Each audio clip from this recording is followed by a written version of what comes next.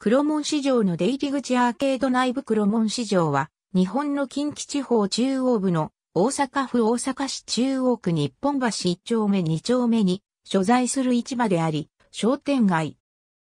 堺筋から一つ東の筋を中心に、千日前通りの南側に展開する。商店街の累計は超広域型商店街で、木の字型に伸びる、総延長距離約580メートルのアーケード街に、およそ150から160店舗が軒を連ねる。商店街は7つの町会で構成されており、生鮮3品をはじめとする食料品を幅広く扱う。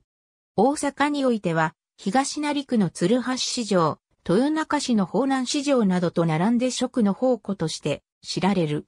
江戸時代、当地域の西寄りの地には、黒塗りの山門を構えた、円、明寺という浄土新州本願寺派人があった。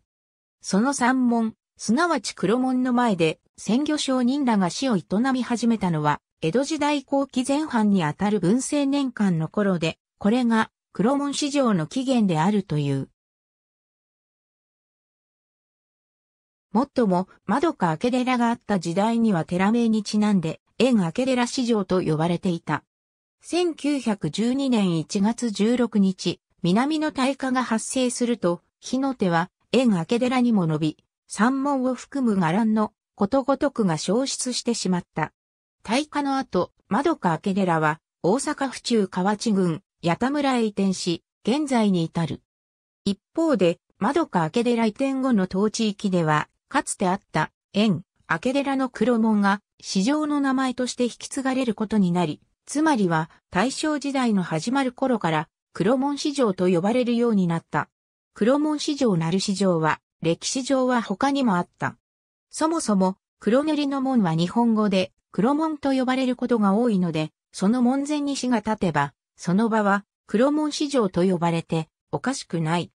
江戸時代前期、豊臣大阪城の南東にあった玉造門が黒塗りの門であったことから、この門を黒門と通称し、その門前で開かれていた西成郡の玉造村などで産する白売りの市場を黒門市場と呼ぶようになった。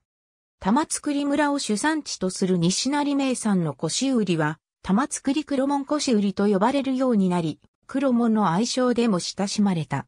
江戸時代も半ばに差し掛かると、火がついた伊勢神宮へのおかげ参りの熱量が全国に伝播し、江戸時代後期には地元の玉造稲荷神社も参詣客で大いに賑わうようになる。そのような中、黒門市場も流星したという。しかし、明治時代に入ってからは、次第に衰え、明治時代半ばに消滅した。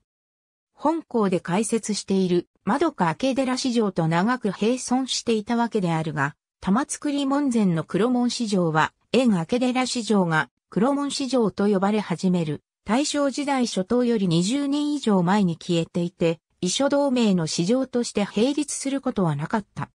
1945年3月13日の深夜から翌14日にかけて第1回大阪大空襲があり、周辺一帯とともに黒門市場は焼け野原となった。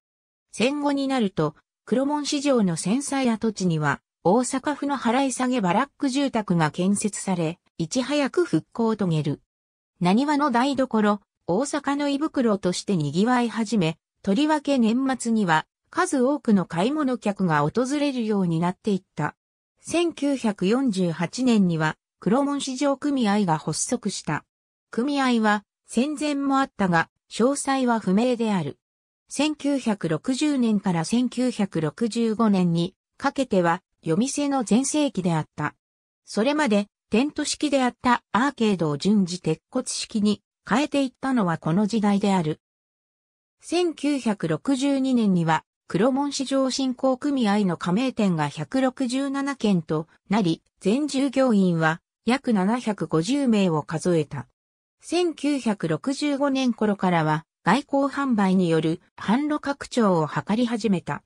2000年代以前の黒門市場には飲食店がおよそ20軒ほどあり、うどん屋などの大衆食堂が大半であった。2010年代には立地を活かして新鮮な魚介類を使った料理店、居酒屋なども増えていった。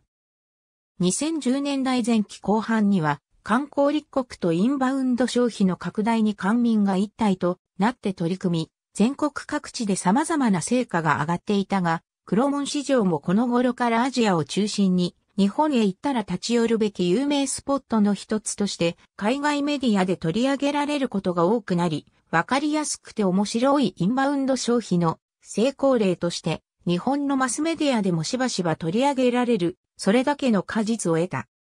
日本人客より外国人観光客の方が多くなる状況の中、店主らも英語などへの対応を心がけ、各店舗の品書きも商店街のガイドブックやパンフレット類も外国語対応が珍しくなくなった。ガイドブックは英語と中国語に対応し、日本語版より多く使われるようになった。この時代には串焼き風メニューが充実していったが、その場で焼いてもらって食べ歩きしながら味わえることが外国人に大いに受けたことと無縁ではない。また、絶対数の多い中国人観光客の場合に特にそうであるが、日本に来たからには、母国では決して食べられないフグを食べてみたいという人が多く、夏場でさえも鍋料理を含む、フグ尽くしを食べたいという要望が多々あった。夏にはあまりフグを食べない日本人の慣習にのっとって夏の黒門市場はフグを仕入れていなかったが、産地、下関と提携して2016年の春から仕入れ始めると、これが爆発的に売れた。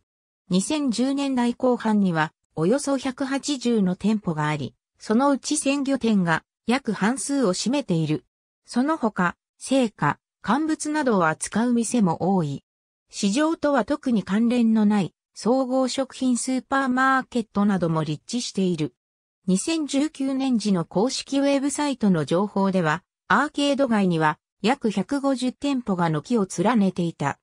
しかし、そのようなインバウンドに依存した戦略は、新型コロナウイルスによる観光客の急減により、売り上げが激減し、多くの店が休業や閉店に追い込まれた。